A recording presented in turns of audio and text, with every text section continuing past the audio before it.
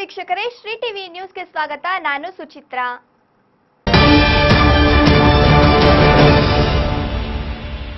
ಇಂದು ಶಿರಾನಗರದ ಈದ್ಗಾ ಮೈದಾನದಲ್ಲಿ ಬಕ್ರೀದ್ ಹಬ್ಬದ ಪ್ರಯುಕ್ತ ಸಾಮೂಹಿಕ ಪ್ರಾರ್ಥನೆಯನ್ನು ಹಮ್ಮಿಕೊಳ್ಳಲಾಗಿತ್ತು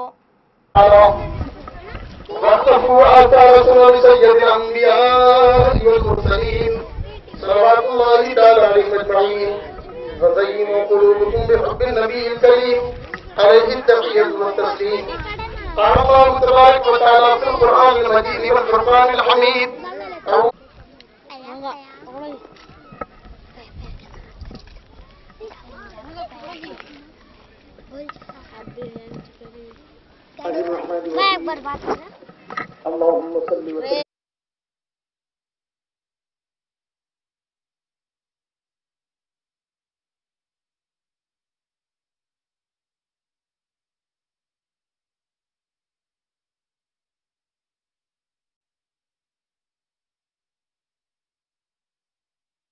ہاں، ماشاء اللہ اللہ تبارک و تعالیٰ کے فضل و کرم ہے پروردگار عالم نے آج ہمیں تمام کو اس میدان میں حاضر ہو کر اپنی بارگاہ میں دو رکت نماز عید ادا کرنے کی سعادت نصیب فرمائی۔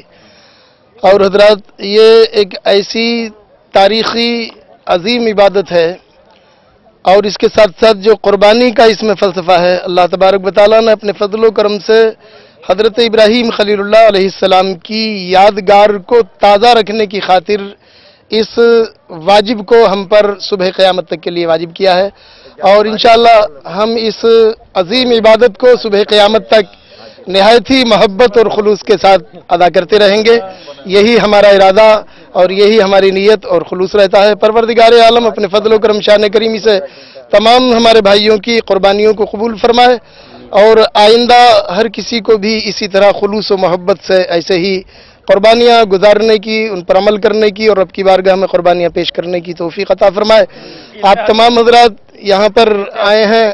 آپ کا بہت بہت شکریہ۔ اور ہم یہ گزارش بھی کریں گے کہ پروردگار عالم کی بارگاہ میں دعا ہے مولا تعالیٰ سب میں آپس میں اتفاق اور اتحاد عطا فرمائے اور بالخصوص ہمارے ملک ہندوستان میں خاص طور سے امن و سکون عطا فرمائے اور تمام لوگوں میں وہ کوئی کسی بھی دھرم کسی بھی مذہب کا رہنے والا ہو ہر دھرم کے لوگوں میں آپس میں ایک دوسرے میں مل جل کر رہ کر محبت و اتفاق سے زندگی گزارنے کی توفیق عطا فرمائے۔ صرف اتنا ہی عرض کر کے بس میں اپنی بات کو ختم کرتا ہوں۔ السلام علیکم۔ مبارک۔ بکرید مبارک۔ بکرید ابا۔ ہاں، عید مبارک۔ عید مبارک۔ सभी लोगों को ईद मुबारक वालेकुम सबको मुसलमान भाइयों को ईद मुबारक ईद उल जुहा की मुबारक हो बहुत खूब खूब मुबारक हो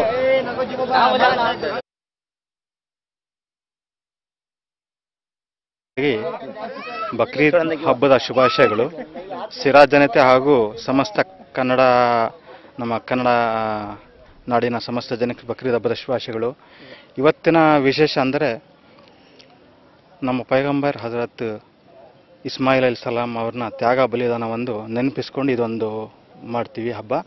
ಮತ್ತು ಇವತ್ತು ಪ್ರಾರ್ಥನೆಯಲ್ಲಿ ವಿಶೇಷ ಪ್ರಾರ್ಥನೆಯಲ್ಲಿ ಕೊಡಗು ಮಡಿಕೇರಿ ಹಾಗೂ ಕೇರಳ. ಫ್ಲಡ್ ಆಗಿದೆ. ಅವರಿಗೆ ದೇವರು ದೇವರು ಒಳ್ಳೇದು ಮಾಡಲಿ ಅಂತ ನಾವು ಇವತ್ತಿನ ಪ್ರಾರ್ಥನೆಯಲ್ಲಿ ಅವರೆಲ್ಲ ನಾವು ದೇವರ ಹತ್ರ ಪ್ರಾರ್ಥಿಸ್ತೇವೆ.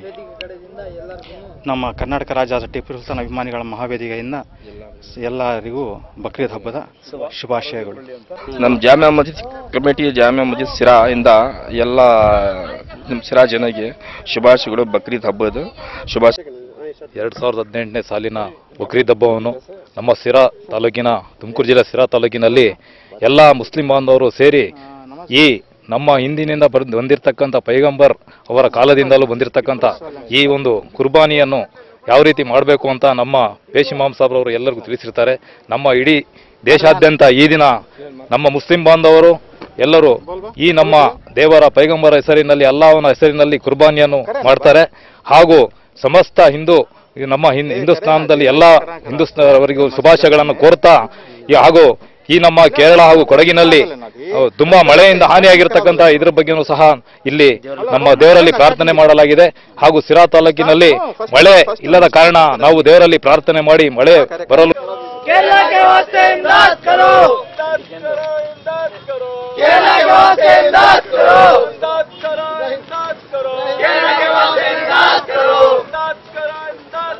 ಇವತ್ತು ಸಿರಾ ನಗರದಲ್ಲಿ ನಾವು ಎಲ್ಲರಿಗೂ ಬಕರಿ ಹಬ್ಬ ಶುಭಾಶಯಗಳು ನೀಡುತ್ತಾ ಒಂದು ಕೇರಳ ಮತ್ತು ಕರ್ನಾಟಕ ಕೂರ್ಗಲ್ಲಿ ಏನು ಎಲ್ಲ ಅನಾಹುತ ನಡೆದಿದೆ, ಅದ್ರ ಬಗ್ಗೆ ನಾವು ಒಂದು ಕಲೆಕ್ಷನ್ ಮಾಡ್ತಾ ಇದ್ದೀವಿ.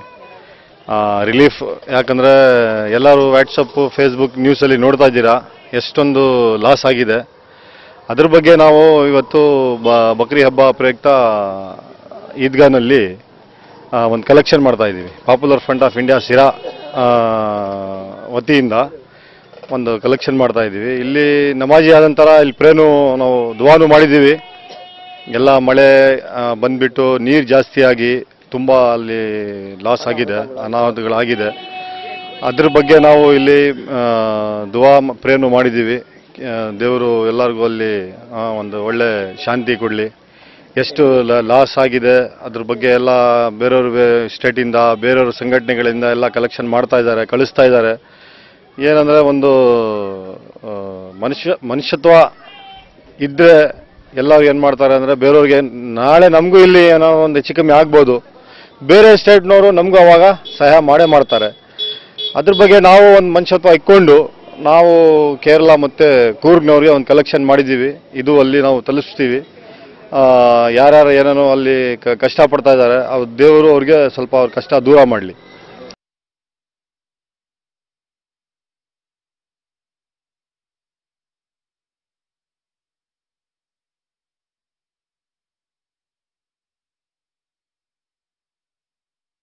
ಇಂದಿನ ವಾರ್ತಾ ಪ್ರಸಾರವನ್ನು ಇಲ್ಲಿಗೆ ಮುಕ್ತಾಯ ಮಾಡೋಣ. ನಿರಂತರ ಸುದ್ದಿಗಾಗಿ ನೋಡ್ತಾ ಇರಿ ಶ್ರೀ ಟಿವಿ. ಇದು ಜನಪರ ಧ್ವನಿ.